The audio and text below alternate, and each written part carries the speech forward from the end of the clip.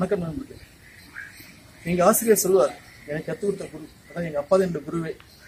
அவர்கிட்ட தான் எல்லா விஷயமும் கற்றுக்கிட்டேன் வாழ்க்கைனா என்ன?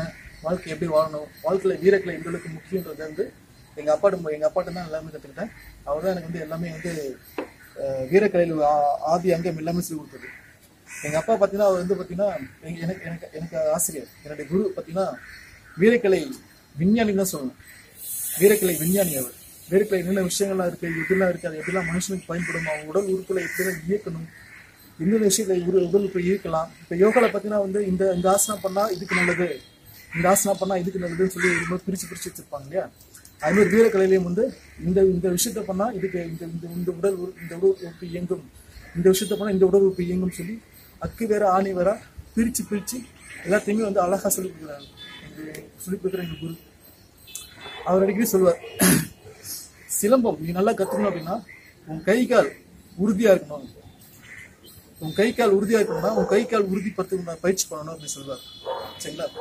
உன் கை கால் எந்த ஒரு மனிதன் வந்து தன்னுடைய கை காலை மு- உருப்படியா அசைக்கிறானோ அவன்தான் வாழ்க்கையில் சிறந்தவன்.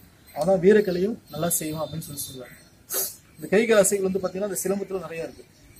ஓகே சிலம்பத்தோடு உண்டான கை கால் அசைகள் நம்ம இது பண்றோம். ஓகே இந்த இந்த தகவலோடு இன்னைக்கு ஏழாம் படத்துக்கு இருப்போம் ஃபர்ஸ்ட் ஆறாம் படம் பார்த்து இப்போ ஏழாம் படத்துக்கு இருப்போம் ஃபஸ்ட் ஆறாம் பார்த்து சின்ன ரிவ்யூ பாருங்க. இது இருக்கும் இது ஆறாம் படம்.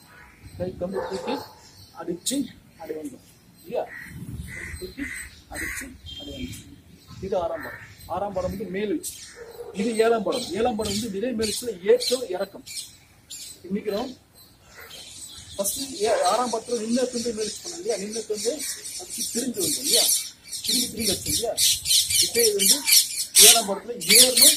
இறங்கணும் பாருங்க அதே மேலிச்சுல கம்பு போயிட்டு அடிச்சு அடி கால் அதையும் பாருங்க கம்பு போட்டு அடிச்சு அடி கால் அதையும் கம்பு தீக் போட்டு அடிச்சு அடி கால்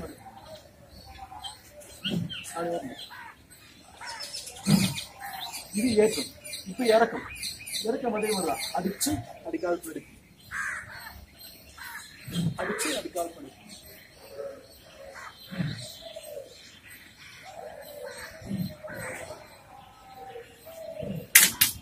அடிக்கால் இதான் இது ஏழாம் படம் ஏழாம் ஏற்றம் இறக்கம் மேல் வந்து கால் முன்னாடி போட்டு ஏறுது அடி கால் முன்னாடி போட்டு இறங்குது. இதான் ஏழாம் படத்துல ஏற்றம் இறக்கம் சரிங்களா இந்த விஷயத்த இந்த மேலிச்சை உங்கள் வீட்டில் இருந்து பயிற்சி பண்ணி இன்னும் நல்லா உங்களுடைய உடல் ஆரோக்கியத்தையும் சிலம்பத்தருடைய வளர்ச்சியும் நீங்கள் கொண்டு வருமாறு தாழ்மணி கேட்டுக்கொள்கிறேன் நன்றி